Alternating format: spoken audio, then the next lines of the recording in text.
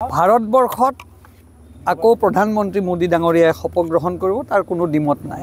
এইটো ঠিক যে এক্সিট পলে আমাক যিমান দেখুৱাইছিল তাতকৈ আমি ভোট অলপ কম কমিছে। আৰু মই ভাবোঁ যে এই গোটেই কথাটোত ভাৰতীয় জনতা পাৰ্টীৰ কোনো কথা নাই এইটো এক্সিট পোলৰ এটা সংখ্যা আছিল। আমি প্ৰধানমন্ত্ৰী মোদী ডাঙৰীয়াক আগতীয়াকৈ ধন্যবাদ জ্ঞাপন কৰি থৈছোঁ। দ্বিতীয়তে অসমত এতিয়ালৈকে দহখন আসনত আমি লিড লৈ আছোঁ। এঘাৰখন আসনত। তাৰে ভিতৰত তিনিখন আসন আমাৰ খুব কণ্ডিশ্যন ভাল নহয়।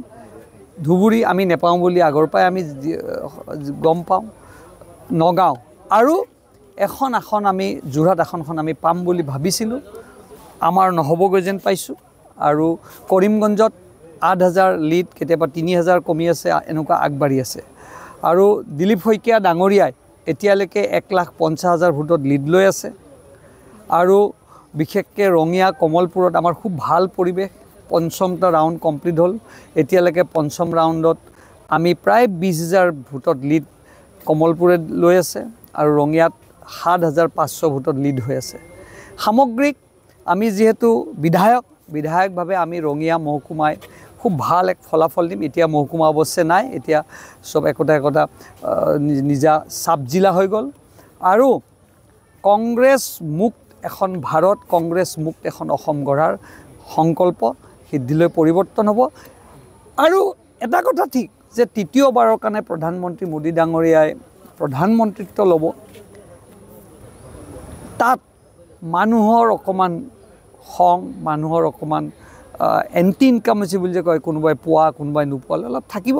কিন্তু এটা কথা আপোনালোকে মনত ৰাখিব প্ৰধানমন্ত্ৰী মোদী ডাঙৰীয়াই পুনৰবাৰ প্ৰধানমন্ত্ৰী হ'ব তাত কোনো দ্বিমত নাই। ভাৰতবৰ্ষত আকৌ প্ৰধানমন্ত্ৰী মোদী ডাঙৰীয়াই শপত গ্ৰহণ কৰিব তাৰ কোনো দ্বিমত নাই। এইটো ঠিক যে এক্সিট পলে আমাক যিমান দেখুৱাইছিল তাতকৈ আমি ভোট অলপ কম কমিছে।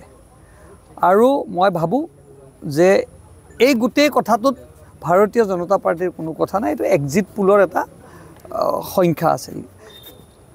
আমি প্ৰধানমন্ত্ৰী মোদী ডাঙৰীয়াক আগতীয়াকৈ ধন্যবাদ জ্ঞাপন কৰি থৈছোঁ। দ্বিতীয়তে অসমত এতিয়ালৈকে দহখন আসনত আমি লিড লৈ আছোঁ এঘাৰখন আসনত। তাৰে ভিতৰত তিনিখন আসন আমাৰ খুব কণ্ডিশ্যন ভাল নহয়।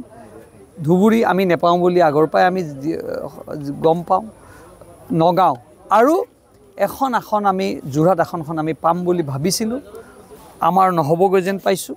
আৰু কৰিমগঞ্জত আঠ হাজাৰ লিড কেতিয়াবা তিনি হাজাৰ কমি আছে এনেকুৱা আগবাঢ়ি আছে।